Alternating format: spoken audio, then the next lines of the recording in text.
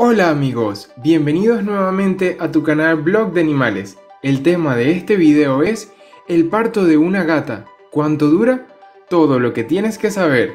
Recuerda que puedes ingresar a nuestro blog para ampliar más este tema, haciendo clic en el enlace que te dejaremos en la descripción. Ahora vamos a comenzar.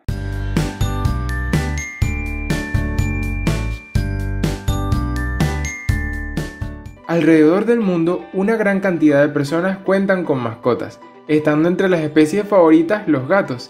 Estos amiguitos peludos tienen un comportamiento independiente y a la vez cariñoso, logrando ganarse el corazón de todos los que quieren tener uno.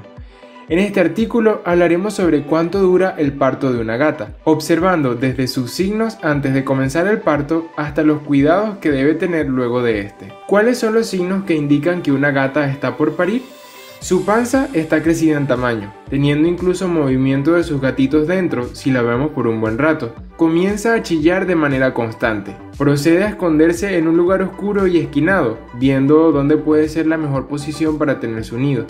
En caso de que hayamos preparado uno, es posible que se encuentre ahí varias horas antes. Vemos cómo bota un líquido por donde pasa, siendo esto un poco de líquido amniótico, se nota más cariñosa de lo normal, síntoma de ansiedad por el dolor que le puede dar su antesala al parto. Si nuestra gata tiene alguno de estos síntomas, es muy probable que esté a solo horas o minutos de dar a luz, por lo que tendremos que hacer nuestros preparativos para el parto de ella.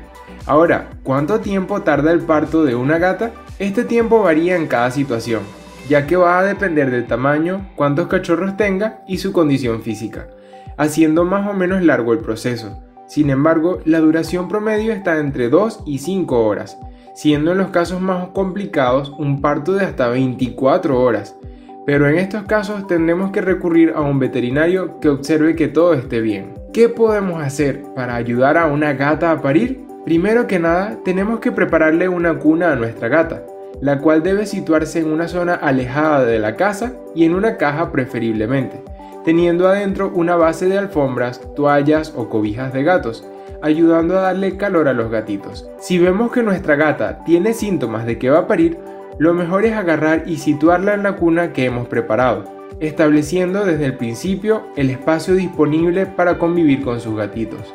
Si ya tuvo a su primera cría fuera de la cuna, no hay problema, Primero debemos esperar a que termine el parto para pensar en acomodarles mejor. Al terminar de parir debemos verificar que todos los gatitos empiecen a mamar, acercando a los que no sean capaces de alimentarse en un principio. Ahora, ¿qué complicaciones se pueden presentar en el parto de una gata? La primera complicación que puede suceder es que nuestra gata detenga el nacimiento de sus crías. Si bien esto puede ocurrir durante ciertos lapsos de tiempo, Pasar más de 4 horas sin expulsar un gatito es un factor del que preocuparse. Esto requiere que vayamos inmediatamente al veterinario, el cual puede sugerir una cesárea para ayudar a nuestra gata. Por otra parte, durante el parto la gata expulsará placenta, la cual tiene un color rojizo, siendo totalmente normal. Sin embargo, cuando empieza a soltar grandes cantidades de sangre tendremos que preocuparnos, ya que puede ser una ruptura del útero, poniendo en riesgo su vida. Esta requiere que vayamos al veterinario con urgencia. También se puede presentar que nuestra gata expulse un líquido de color oscuro, el cual puede indicar que existe una infección en el útero, apareciendo también este síntoma cuando hay una cría muerta, deviniendo en esta sustancia de mal olor. Como última de las complicaciones que mencionaremos, si nuestra gata presenta fiebre es un signo de infección, la cual debe ser atendida con un veterinario para evitar alguna evolución grave. Ahora bien, ¿Qué cuidados debemos tener con una gata después del parto? Podríamos explicar estos cuidados en varios puntos, siendo uno de estos la alimentación, debido a que si bien en los primeros momentos posterior al parto no tendrá mucho apetito, con el pasar de los días irá en aumento, consecuencia de alimentar a todas sus crías, requiriendo de una cantidad de alimento de hasta un 50% más que la normal. Por último, tenemos que estar pendientes de la salud de nuestra gata y sus gatitos, asistiendo constantemente al veterinario para aplicarle todos los procesos que se requieren en las etapas tempranas de su vida, recibiendo inyecciones obligatorias en los gatos y desparasitación. Bueno amigos, esto fue todo por este video, esperamos que te haya servido y por favor recuerda que tu apoyo es muy importante para nosotros.